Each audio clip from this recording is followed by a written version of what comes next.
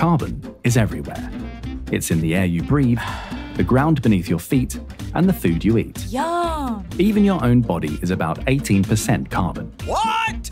Carbon is a very important chemical for life on Earth. It gives us energy, keeps our planet warm, and provides us with fossil fuels, such as oil, gas, and coal. In nature, carbon is never created or used up. Instead, it is constantly moving from place to place in a process known as the carbon cycle. Here are just a few aspects of the carbon cycle. Rocks. Rainwater slowly wears away the top layer of rocks. Calcium and other natural chemicals from the rocks are washed into nearby rivers and out to sea. Carbon dioxide in the air reacts with calcium in the water and forms calcium carbonate. Lots of marine animals make their shells or exoskeletons out of calcium carbonate. When they die, their shells get buried in the sediment at the bottom of the ocean and form limestone. Fossil fuels. When humans burn fossil fuels, carbon dioxide, a mixture of carbon and oxygen, is released into the atmosphere. Trees use carbon dioxide to make sugar for energy.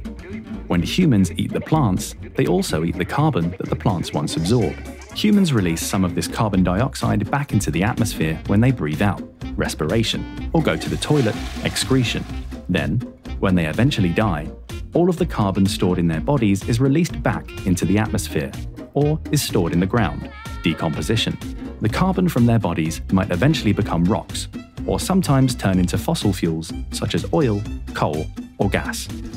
The carbon cycle and climate change. Extra carbon dioxide is released into the atmosphere when humans burn fossil fuels, drive cars, fly planes, and make cement out of limestone.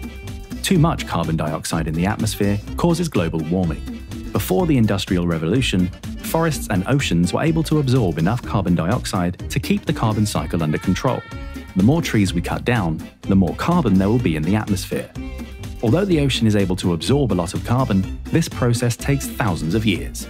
In the meantime, the extra carbon makes the ocean more acidic and harmful to ocean life.